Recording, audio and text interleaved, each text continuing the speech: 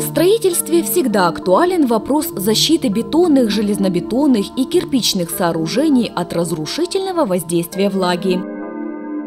Именно для этих целей разработана гидрофобизирующая пропитка глубокого проникновения «Аквасол», которая позволяет защитить бетон, газобетонные газосиликатные блоки, керамический и силикатный кирпич от проникновения в них влаги в виде дождя и снега и повышенной влажности воздуха, а также предотвратить появление высолов.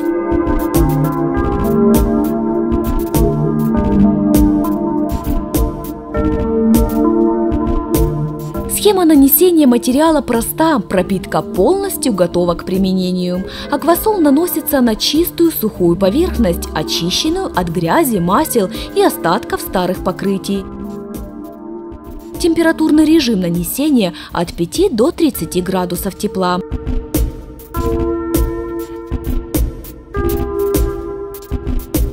Время высыхания при температуре 20 градусов составляет 8 часов. Рекомендуется нанесение в 1-2 слоя с интервалом в 10-20 минут кистью или валиком.